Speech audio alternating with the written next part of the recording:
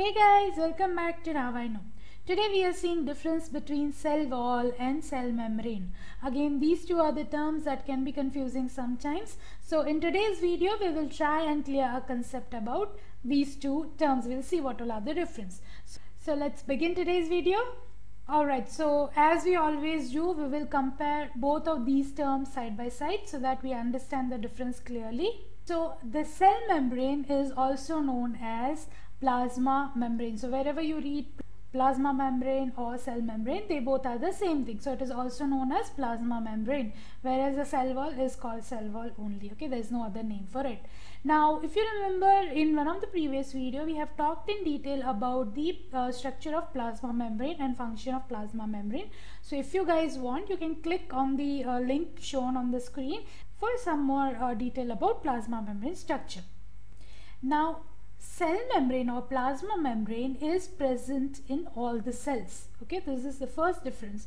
It is present in all the cells. Doesn't matter what cell you're talking about always remember that all of the cells would have plasma membrane. Whether you're talking about animal cells plant cells bacterial cells it will have plasma membrane or cell membrane. Whereas uh, in case of cell membrane it is absent in animal cells. Animal cells do not contain cell wall. Why is that? In just couple of minutes we will see.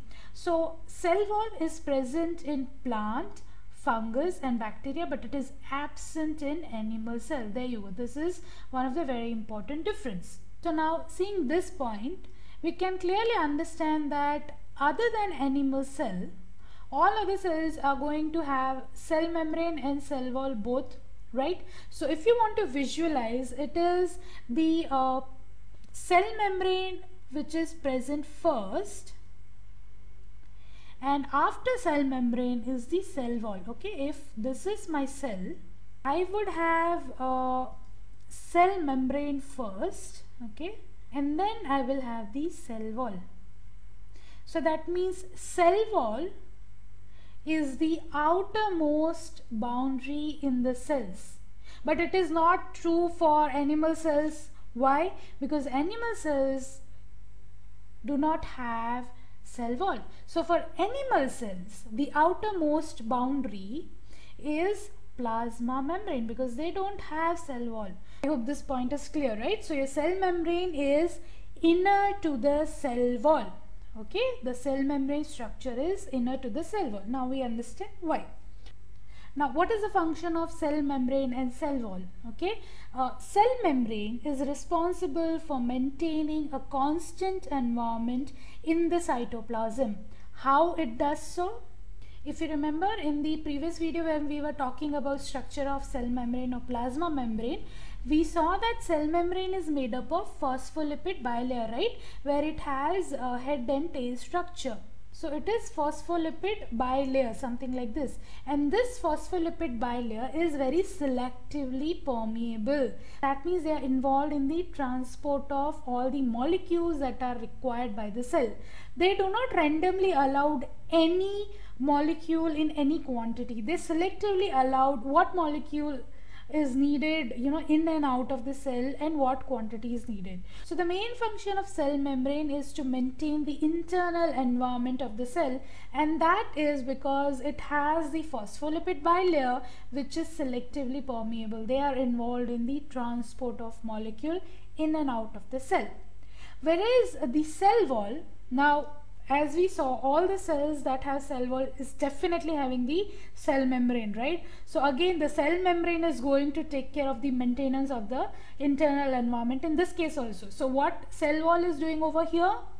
Cell wall is going to give the protection and shape to the cell so cell wall is mainly involved in protecting the cell. Okay, that is why it is the outermost layer, outermost boundary. It is going to protect the cell and especially in case of plant, you know, plants need to make their own food, right? They are autotrophs. So they need to make their own food. They are not going to move. They cannot move from one place to another place. They need more protection compared to animal cell.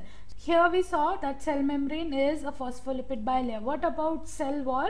Now for cell wall, different type of uh, whatever cell we are talking about, the composition of cell wall will be different. Say for example, for plant, the cell wall composition, the cell wall is made up of cellulose.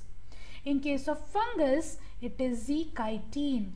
In case of bacteria, it is peptidoglycan. Now here also bacterial cell wall made up of peptidoglycan.